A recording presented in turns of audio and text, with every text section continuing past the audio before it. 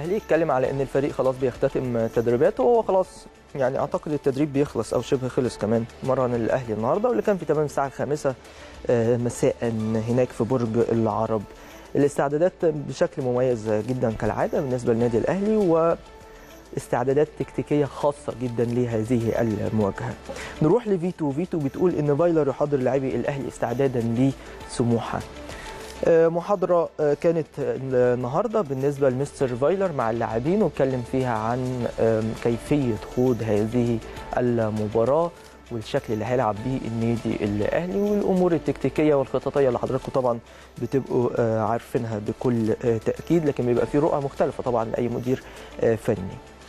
عايز أروح كمان للوطن sport واللي بيتوقعوا إن هيبقى في مفاجأة من مستر فايلر للكابتن حسام حسن المدير الفني لسموحة وأعتقد التوقع ده جاي بعد مفاجأة مستر فايلر في مباراة الزمالك والبدء بجونيور أجاييه بعد غياب فترة كبيرة جدا. واضح إن إحنا هنشوف مفاجآت كتيرة من مستر فايلر خلال الفترة اللي جاية. الأهم الأهم إن هي تبقى مفاجآت محسوبة وتنجح على غرار نجاح جونيور أجاييه. لكن هم بيقولوا يعني في متن الخبر إن المفاجأة هتكون في تجهيز اليو ديانج ومشاركته في هذه المباراة على حساب عمرو السولية في حالة عدم جاهزيته التامه لخوض هذا اللقاء. يعني ممكن يكون اليو ديانج قريب فعلا من المشاركة في هذه المباراة. كل ده هنشوفه وهنعرفه بشكل رسمي. غدا لكن إحنا بنقول المؤشرات بتبقى إيه؟ لحضراتكم كالعادة. 1 3 تتكلم برضو على جزئية الدفاع في النادي الأهلي تغييرات في دفاع الأهلي أمام سموحة وده طبيعي. إحنا عارفين إن كده كده هيبقى في تغيير في خط الدفاع بعد غياب متولي على أقل تقدير يعني. فأنا قلت لحضراتكم القصة هتبقى ماشية إزاي في هذا المركز بالتحديد. نروح للشروق.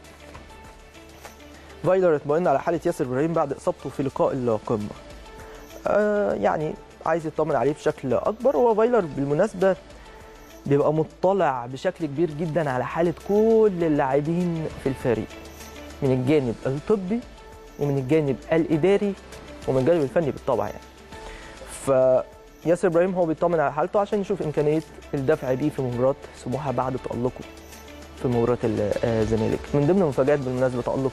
مش عايز أقول إن هي مفاجأة تألق ياسر إبراهيم لأن هو لعيب جيد يعني لو ما كانش لعيب جيد ما كانش الأهلي جابه يعني ودفع فيه مبلغ كبير أعتقد كان مش عايز أقول الرقم يعني كان أكيد حضراتكم عارفين لكن في كل الأحوال لعيب مميز جدا. ياسر إبراهيم كان بعيد قوي لعب ماتش كبير قوي في مباراة القمة. أنا مبسوط بصراحة. مبسوطين أنتوا أكيد طبعا.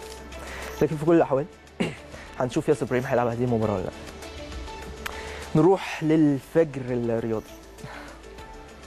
الفجر الرياضي بيقول نجم الأهلي يغيبان عن مباراة سموحة. هم بيقولوا إيه؟ بيقولوا على إن أزارو غايب. آه طبعا أزارو هيغيب عن هذه المباراة مؤكد. وكمان بيقولوا ياسر إبراهيم لكن إحنا بنقول لحضراتكم ياسر إبراهيم جاهز لهذه المباراة وفي الآخر مستر فايلر هو اللي هيقرر الدفع بيه ولا الحفاظ عليه. ده هنشوفه بكرة. سوبر كورة. فايلر يحدد شرط خاص لعودة عمرو السوليه لتشكيل الأهلي. الشرط إيه إن عمرو السوليه يكون جاهز جاهزية تامة لهذا اللقاء. ما يكونش في شك إن هو بنسبة 1% عنده إصابة يعني. لازم 100% يكون جاهز. ودي حاجة كويسة وخصوصا في ظل الوفرة العددية عندك في خط الوسط. يعني عندك أسامة عاشور وعندك أليو ديانج ممكن يجاوروا حمدي فتحي لاعبنا المتألق. نروح لموقع مبتدئ.